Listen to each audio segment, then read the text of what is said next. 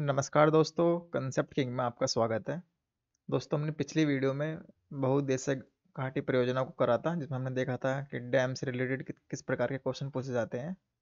आज इस वीडियो में हम कृषि वाले चैप्टर को पढ़ेंगे। तो चलिए अपना चैप्टर स्टार्ट करते हैं। देखिए, बहुत ही डायनेमिक चैप्टर है और करंट अफेयर के पॉइंट ऑफ़ व्यू से बहुत इंपॉर्टेंट है ये वाला चैप्टर। देखिए, जो पहला क्वेश्चन है, देखिए, पढ़िए, स्थायी कृषि पारंपरिक रासायनिक कृषि से किस तरह भिन्न है? देखिए, जो परमाकल्चर होती है, हमें बताना कि पारंपरिक रासायनिक कृषि से किस तरह भिन्न है। देखिए, कुछ कंसेप्ट इसमें दे रखे हैं।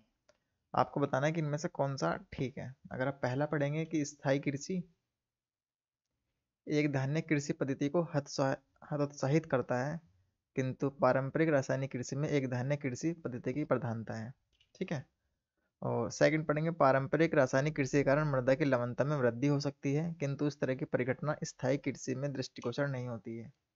देखिए, हमें जो कंसेप्ट वाले क्वेश्चन होते हैं तो हमें उन स्टेटमेंट की तरफ़ जाना होता है जो पॉजिटिव होते हैं, ये ध्यान में रखना है आपको। तो पॉजिटिव अप्रोच हमें लेकर चलनी होती है। अगर आप फ़र्स्ट और सेकंड स्टेटमेंट देखेंगे तो पॉजिटिव स्टेटमेंट की तरफ़ है कि पारंपरिक रासायनिक कृषि के कारण मृदा की लवणता में वृद्धि हो सकती है, किंतु इस परिघटना की किंतु इस तरह की परिघटना स्थायी कृषि में दृष्टिगोचर नहीं होती है। ठीक है? और आप थर्ड पढ़ेंगे, पारंपरिक रासायनिक कृषि अर्धशुष्क क्षेत्रों में आसानी से संभव है, किंतु ऐसे क्षेत्रों में स्थायी कृषि इतनी आसानी से संभव नहीं है। देखिए, जो पारंपरिक कृषि है देखिए कितना नेगेटिव ये स्टेटमेंट ये वाला है कि पारंपरिक रासायनिक कृषि अर्धशुष्क क्षेत्रों में तो संभव है, लेकिन ऐसे क्षेत्रों में स्थायी कृषि संभव नहीं है, जबकि ये गलत है, क्योंकि स्थायी कृषि तो दोस्तों और ज़्यादा टेक्नोलॉजी से सुसंगत है तो क्यों संभव नहीं होगी? तो थर्ड स्टेटमेंट तो आपका गलत है। फोर्थ पढ़ेंगे हम। मल्च बनाने की प्रथा स्थायी कृषि से काफ़ी महत्वपूर्ण है, किंतु पारंपरिक रासायनिक कृषि में ऐसी प्रथा आवश्यक नहीं है। देखिए फ़र्स्ट सेकंड और फोर्थ ये आपका राइट स्टेटमेंट है, जबकि थर्ड स्टेटमेंट जो है वो गलत है। क्यों? क्योंकि जो स्थायी कृषि है, वह अर्धसुख क्षेत्रों में उनको किया जा सकता है, ठीक है ना? तो थर्ड स्टेटमेंट गलत है तो सबसे पहले आपको ए एलिमिनेट कर दीजिए। और डी एलिमिनेट कर दीजिए तो फ़र्स्ट आपका इसमें है बी में तो फ़र्स्ट सेकंड और फोर्थ ये आपका राइट आंसर है। अगला क्वेश्चन देखते हैं। देखिए, कृषि के जो कुछ टाइप देखिए शून्य जुताई, ये हमें बिल्कुल उनके सबके फीचर्स पता होने चाहिए कि स्थायी कृषि क्या है, पारंपरिक रासायनिक कृषि क्या है, इनमें खेती किस प्रकार से की जाती है, क्या बेनिफिट है, क्या डिसएडवांटेजेस है। ऐसे जब हम सिंचाई पढ़ते हैं तो हमें सिंचाई के पैटर्न पता होने चाहिए, कितने प्रकार की सिंचाई होती है उनके हमें क्या फीचर्स है, क्या एडवांटेजेस है, क्या डिसएडवांटेजेस है तो सब हमें पता होने चाहिए। तो इसी प्रकार का क्वेश्चन है कि शून्य जुताई के क्या लाभ हैं। देखिए ज़ीरो टिलेज के हमें बेनिफिट बताने की क्या बेनिफिट है। तो पहला क्वेश्चन पढ़ेंगे हम, पिछली फ़सल के अवशेषों को जलाए बिना गेहूँ की बुआई संभव है? हाँ ठीक है। चावल की नई पौध की नर्सरी बनाए बिना धान के बीजों का नम मृदा में सीधे रोपण संभव है। देखिए, ये भी ठीक है। और मृदा में कार्बन पृथककरण संभव है। देखिए तीनों स्टेटमेंट क्या है? पॉजिटिव है, संभव है, हो सकता है। तो इस प्रकार के जो क्वेश्चन होते हैं, वे लगभग ठीक होते हैं। ठीक है, दस में से छः से सात बार आपके ठीक स्टेटमेंट मिलेंगे आपके। तो इसका जो राइट आंसर है, वो वन टू और थ्री तीनों है। तो डी इसका राइट आंसर है। और बाकी आपको पता होना चाहिए कि सुने जताएगा और क्या बेनिफिट है। अगला क्वेश्चन है, देखिए। कृषि में फर्टिगेशन के क्या लाभ है? देखिए यूपीएससी जो पूछता है, वो कंसेप्ट पर आधारित क्वेश्चन पूछता है। लगभग इसमें जो रेस होता है, साठ से सत्तर परसेंट जहाँ तक मुझे लगता है कंसेप्ट पे आधारित होता है पैटर्न और लगभग तीस से चालीस इसमें कुछ फैक्चुअल डेटा इसमें पूछते हैं। ठीक है? तो इस हिसाब से हमें तैयारी करनी होती है और इसमें पूछा है कि क्या लाभ है? देखिए, पूरा कंसेप्ट है।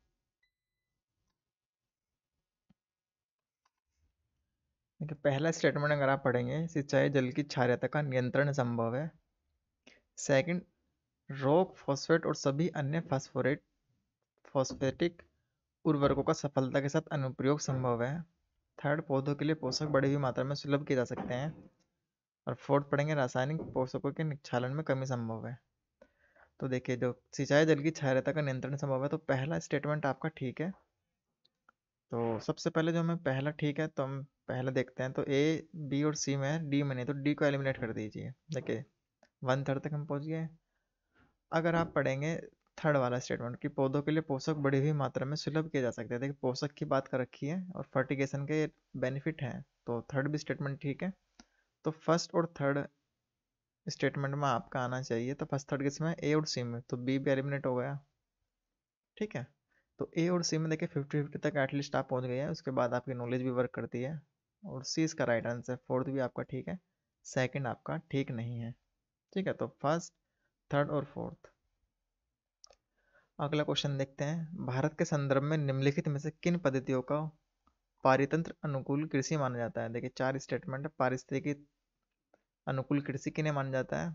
देखिए, फ़सल विधि रूपण, सिम आधिक्य टेंसियोमीटर का प्रयोग और वर्टिकल फ़ार्मिंग, ऊर्ध्वाधर कृषि। ठीक है तो पारिस्थितिक अनुकूल किन किन पद्धतियों को माना जाता है? तो इन सभी पद्धतियों को।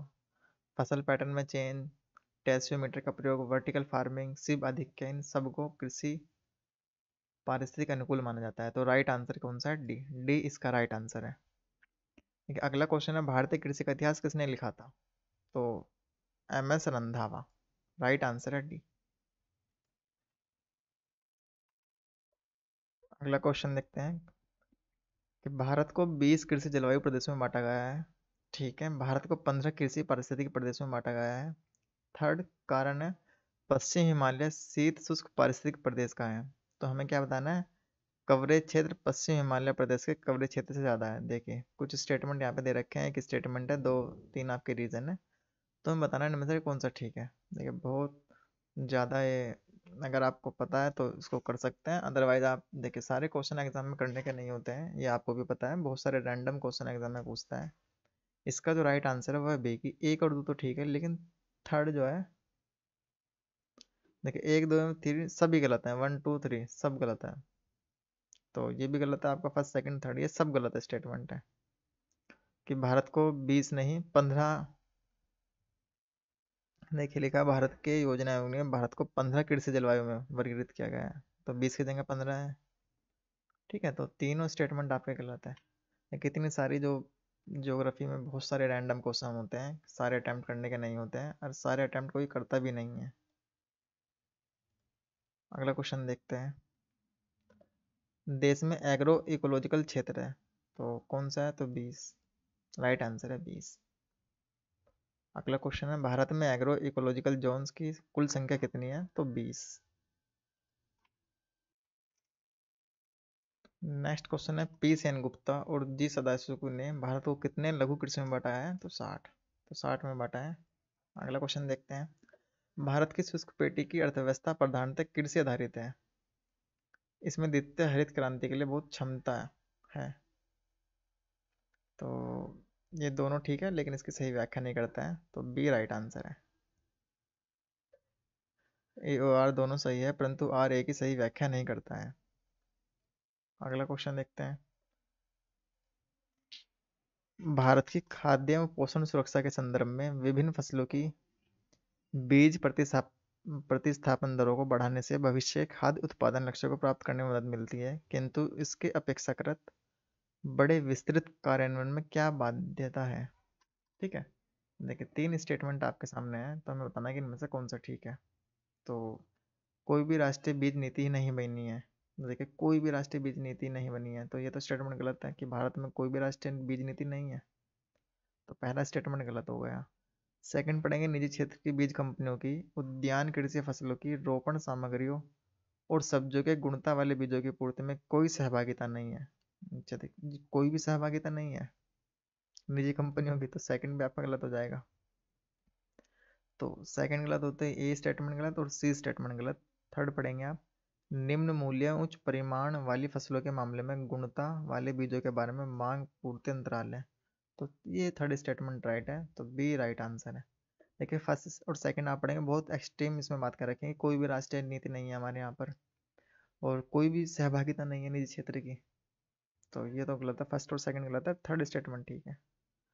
अगला क्वेश्चन पढ़ते हैं, देश में प्रथम कृषि विश्वविद्यालय की स्थापना किस वर्ष हुई थी? तो 1960 में हुई थी राइट आंसर है बी देश का पहला कृषि विश्वविद्यालय है तो G B P A U Pantnagar में, ठीक है ना? अगला क्वेश्चन देखते हैं, देखिए फुल फॉर्म आप लिखी हुई आप पढ़ सकते हैं यहाँ पर। देश में प्रथम कृषि विश्वविद्यालय की स्थापना उन्नीस साठ में हुई थी। भारत के प्रथम प्रधानमंत्री जवाहरलाल नेहरू ने सत्रह नवंबर उन्नीस साठ को उत्तर प्रदेश कृषि विश्वविद्यालय के रूप में इसका उद्घाटन पंतनगर में किया था पंतनगर में किया था, है ना? तो गोविंद बल्लभ पंत कृषि प्रौद्योगिकी विश्वविद्यालय। तो ये नाम है, ये कहाँ पर है? मेरठ में। माफ़ करना दोस्तों, एक मेरठ में भी है ठीक है? तो ये कहाँ पे है? पंतनगर में कहीं। अगला क्वेश्चन है, भारत में प्रथम कृषि विद्यालय की स्थापना कब हुई थी? तो 1960 में। तो बी राइट आंसर है। अगला क्वेश्चन है, यदि खाद्यान्नों का सुरक्षित संग्रह सुनिश्चित करना हो तो कटाई के समय उनका आर्द्रता अंश कितने प्रतिशत से अधिक नहीं होना चाहिए? तो चौदह परसेंट से अधिक नहीं होना चाहिए तो राइट आंसर है ए। अगला क्वेश्चन है, भारत में भूमि उपयोग वर्गीकरण का सन्निकट निरूपण निम्नलिखित में से कौन सा सही है? तो डी सही है। ठीक है तो करंट अफेयर में था ये, देखिए, लिखा है। इसका कोई महत्व नहीं है क्वेश्चन का। अगला क्वेश्चन आप देखिए। कृषि में युग्म पैदावार का आशय को उगाने से है। तो कृषि में युग्म पैदावार का आशय किसके उगाने से विभिन्न मौसमों पर दो फ़सल। तो विभिन्न मौसमों में दो फ़सल उगाएँगे, तभी कृषि में युग्म पैदावार को बढ़ावा मिलेगा, है ना? तो राइट आंसर कौन सा? ए अगला क्वेश्चन देखते हैं। निम्नलिखित में से कौन सी मिश्रित खेती की प्रमुख विशेषता है? देखिए इंपॉर्टेंट क्वेश्चन है। तो हम पढ़ते ही हैं कि कृषि के जो प्रकार पढ़ते हैं। तो मिश्रित खेती किसे कहा जाता है? जहाँ पशुपालन और कृषि दोनों एक साथ की जाती है। जहाँ पशुपालन भी किया जा रहा है और जहाँ फ़सल भी उगाई जा रही है। ठीक है? तो इनमें देखेंगे आप पहला नकदी और खाद्य दोनों सस्यों के साथ साथ खेती गलत, दो या दो से अधिक शस्यों शस्य का मतलब कि कृषि का पैटर्न को एक ही खेत में उगाना, सी पशुपालन और कृषि उत्पादन को एक साथ करना। तो सी इसका राइट आंसर है। देखिए, पशुपालन करेंगे और साथ में कृषि भी करेंगे। फ़सल उगाएँगे, ठीक है ना? शस्य मतलब फ़सल फ़सल। तो सी इसका राइट आंसर है। अगला क्वेश्चन है, मिश्रित खेत, मिश्रित कृषि में सम्मिलित है। तो विभिन्न फ़सलों को योजनाबद्ध तरीके से उगाना। बी, रबी एवं खरीफ फ़सलों को साथ में उगाना। सी, कई तरह की फ़सलें उगाना तथा पशुपालन भी करना। तो सी, इसका राइट आंसर है। इसमें पशुपालन भी सम्मिलित है और कई तरह की फ़सलें भी उगाई इसमें जाती है। अगला क्वेश्चन है, समानांतर फ़सल का एक उदाहरण है। तो गेहूँ और सरसों समानांतर फ़सल का उदाहरण है। तो इसका जो राइट आंसर है, वह है बी अगला क्वेश्चन है, निम्न राज्यों में को छोड़कर सभी में कृषि भूमि का प्रतिशत काफ़ी ज़्यादा है। तो सिक्किम सिक्किम को छोड़कर सभी में कृषि भूमि का प्रतिशत सबसे ज़्यादा, देखिए पंजाब, उत्तर प्रदेश, हरियाणा सबसे ज़्यादा कृषि इन्हीं में होती है। और आपको पता है सिक्किम तो दोस्तों एक पहाड़ी क्षेत्र है है ना? तो पहाड़ वगैरह तो वहाँ उतनी कृषि नहीं है। अगला क्वेश्चन है, निम्न में से एक भारतीय कृषि की विशेषता नहीं है तो प्रकृति पर अधिक निर्भरता, उत्पादकता का निम्न स्तर,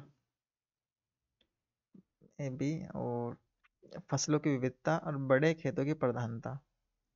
तो इसमें से देखें, निम्न में से एक भारतीय कृषि की विशेषता नहीं है, ये पूछा है। देखिए, प्रकृति पर अधिक निर्भरता तो ये तो विशेषता है। उत्पादकता का निम्न स्तर, ये भी विशेषता है आपका।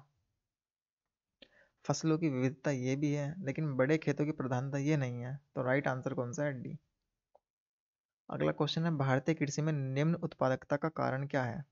तो आवश्यकता से अधिक लोगों का कृषि कार्य में लगा रहना। देखिए ये तो है, ठीक है ना? बी पढ़ेंगे, जोत का छोटा आकार होना सी उत्पादन की पिछड़ी तकनीक, और डी पढ़ेंगे उपरोक्त सभी। तो ये सभी निम्न उत्पादकता के कारण है। देखिए, बहुत ही सिंपल क्वेश्चन है तो राइट आंसर है डी अगला क्वेश्चन है, पारंपरिक खेती के आधुनिक वैज्ञानिक खेती में रूपांतरण में हरित क्रांति की तकनीक की महत्वपूर्ण भूमिका रही है। कारण, इसमें सामाजिक एवं पर्यावरणीय लागत सम्मिलित नहीं होती है। तो देखिए, ए और बी देखिए दोनों ठीक है, लेकिन इसकी व्याख्या सही नहीं करता है तो बी राइट आंसर है, क्योंकि पारंपरिक खेती के आधुनिक वैज्ञानिक खेती में रूपांतर में हरित क्रांति की तकनीक की महत्वपूर्ण भूमिका रही है। ठीक है, देखिए, ये तो कंसेप्ट है पूरा, और बी भी ठीक है आर वाला, इसमें सामाजिक एवं पर्यावरणीय लागत सम्मिलित नहीं होती है। हरित क्रांति में सामाजिक पर्यावरण लागत कहाँ सम्मिलित होती है दोस्तों? हरित क्रांति में अधिक से अधिक उर्वरकों का प्रयोग करेंगे नई नई टेक्नोलॉजी का प्रयोग करेंगे उसके माध्यम से फ़सलों को उगाएँगे। तो कहाँ इन चीज़ों का ध्यान में रखा जाता है? तो ए और आर दोनों ठीक है, लेकिन इसकी सही व्याख्या नहीं करता है। अगला क्वेश्चन देखते हैं। निम्नलिखित में से कौन सा भारतीय कृषि की निम्न उत्पादकता का कारण नहीं है? देखिए, चार स्टेटमेंट है, बहुत सिंपल सा क्वेश्चन है तो निम्न उत्पादक का क्या कारण नहीं है? तीन कारण होंगे निम्न उत्पादकता के। एक कारण है जो नहीं है तो जनसंख्या का दबाव प्रचन बेरोजगारी सहकारी कृषि भू जोत का छोटा कार तो ए, बी और डी तो निम्न उत्पादकता के कारण है, जबकि सी सहकारी कृषि नहीं है। ठीक है कुछ सहकारी कृषि में तो क्या होता है कि बहुत सारे किसान अपनी जमीनों को इकट्ठा करके एक साथ कृषि करते हैं। तो निम्न उत्पादकता का होंगे तो उत्पादकता बढ़ेगी अगला क्वेश्चन है, भारत में संकार्य चालू जोतों का सबसे बड़ा औसत आकार है। तो राजस्थान में राइट आंसर है डी अगला क्वेश्चन है, भारत में कृषि को समझा जाता है तो भारत में कृषि को जीविका उपार्जन का साधन समझा जाता है मतलब जीविका कमाने का साधन। तो राइट आंसर है ए ए इसका राइट आंसर है। अगला क्वेश्चन है, भारतीय कृषि के संदर्भ में निम्नलिखित में से कौन सा कथन सही है? देखिए, चार स्टेटमेंट है, हमें बताना है कि कौन सा ठीक है। तो पहला पढ़ेंगे, भारत में दालू खेती के अंतर्गत आने वाला लगभग नब्बे प्रतिशत क्षेत्र वर्षा द्वारा पोषित है। बी पिछले दो दशकों में राष्ट्रीय स्तर पर खेती किए जाने वाले कुल क्षेत्र में दालों का भाग दोगुना हो गया है। सी, विश्व में कुल क्षेत्र में होने वाली चावल खेती का लगभग पंद्रह प्रतिशत भाग भारत में है। डी, भारत में होने वाली खेती के कुल क्षेत्र में से लगभग चौंतीस प्रतिशत क्षेत्र में चावल खेती होती है। तो इसमें राइट आंसर दोस्तों ये है, जबकि बी सी डी राइट नहीं है, ठीक है? अगला क्वेश्चन देखते हैं। कि भारत में रासायनिक उर्वरकों के दो बड़े उपभोक्ता हैं। तो रासायनिक उर्वरक के सबसे ज़्यादा इस्तेमाल कौन से दो स्टेट करते हैं? उत्तर प्रदेश और आंध्र प्रदेश। तो राइट आंसर है डी डी राइट आंसर है। अगला क्वेश्चन है, निम्नलिखित हरी खाद वाली फ़सलों में से किसमें नाइट्रोजन की मात्रा सर्वाधिक पाई जाती है? तो नाइट्रोजन सबसे ज़्यादा कहाँ में पाया जाता है? लोबिया में। देखिए, लोबिया बहुत इंपॉर्टेंट है। और इसके माध्यम से ही मृदा की उर्वरता बढ़ती है। तो सी राइट आंसर है। अगला क्वेश्चन देखते हैं। नई सुधारी गई ऊसर में हरी खाद के लिए उपयुक्त फ़सल कौन सी है? तो लोबिया। तो लोबिया बहुत इंपॉर्टेंट है तो आप ध्यान में रखना है लोबिया। अगला क्वेश्चन है, संतुलित उर्वरक प्रयोग किए जाते हैं। उत्पादन बढ़ाने के लिए खाद्य की गुणवत्ता उन्नत करने हेतु, भूमि की उत्पादकता बनाए रखने हेतु। डी यह सभी देखिए, बहुत ही सिंपल क्वेश्चन है तो राइट आंसर है डी डी राइट आंसर है। अगला क्वेश्चन है, दक्षिण भारत में उच्च कृषि उत्पादकता का क्षेत्र पाया जाता है तो कहाँ पे पाया जाता है? तमिलनाडु के तट पर। तो राइट आंसर है बी अगला क्वेश्चन है, पुनर्भरण योग्य भूम जल संसाधन में सबसे संपन्न राज्य है। देखिए जो हमारे प्राकृतिक संसाधन है, उसमें जल संसाधन बहुत इंपॉर्टेंट है। हर साल एक या दो क्वेश्चन इससे आते हैं एग्ज़ाम में तो इसको आपको अच्छे से करके जाना है। हर साल पूछता है एग्जामिनर चाहे यूपीएससी हो, चाहे यूपी पीसीएस हो। तो सबसे ज़्यादा संपन्न राज्य कौन सा है? तो यूपी है, उत्तर प्रदेश। अगला क्वेश्चन है, निम्नलिखित राज्यों में से कौन भारत में ठेकेदारी कृषि को लागू करने में अग्रणी है? तो पंजाब राज्य है। ऐसा राज्य है जो भारत में ठेकेदारी कृषि को लागू करने में सबसे आगे है। देखिए, अगला क्वेश्चन है, देखिए, हरित खेती में सन्निहित है। देखिए, आपको बताना कि हरित खेती में क्या क्या चीज़ सम्मिलित है। तो ये पढ़ेंगे आप, जैविक खेती में बागवानी पर ज़ोर। बी बागवानी तथा पुष्प कृषि पर ध्यान केंद्रित करते समय कीटनाशकों और रासायनिक उर्वरकों से बचाओ। सी, समेकित कीट प्रबंधन, समेकित पोषक पदार्थ, आपूर्ति एवं समेकित प्राकृतिक संसाधन प्रबंधन।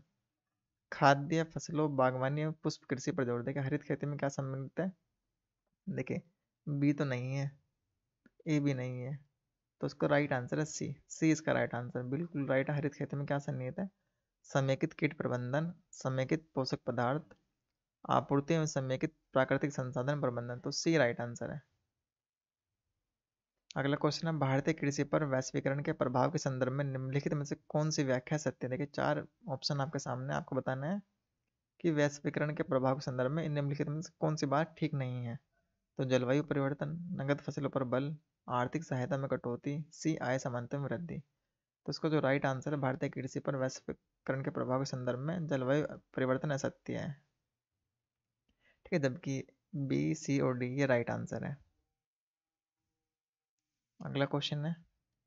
निम्नलिखित में से कौन सा एक बीज ग्राम संकल्पना सीड विलेज कॉन्सेप्ट के प्रमुख उद्देश्य को सर्वोत्तम वर्णन करता है? देखिए, जिस साल ये क्वेश्चन पूछा गया है तो उस साल कहीं ना कहीं प्रोग्राम शुरू में रहा होगा, तभी एग्जामिनर ने बनाया है। तो अगर आप इसको पढ़ेंगे, देखिए, हमें बिल्कुल पॉजिटिव स्टेटमेंट को ढूंढना होता है। तो पहला पढ़ेंगे आप किसानों को अपने खेत के बीजों का उपयोग करने के लिए प्रोत्साहित करना। और उन्हें दूसरों से बीज खरीदने के लिए हतोत्साहित करना। देखिए, पहला स्टेटमेंट आपका बिल्कुल गलत है। क्यों? किसानों को अपने ही खेत के बीजों को उपयोग करने के लिए प्रोत्साहित करना और उन्हें दूसरों से बीज खरीदने के लिए हतोत्साहित करना। क्या ऐसा है? कोई गवर्नमेंट कर सकती है? नहीं। कि दूसरों से बीज ना खरीदे तो ये स्टेटमेंट गलत है।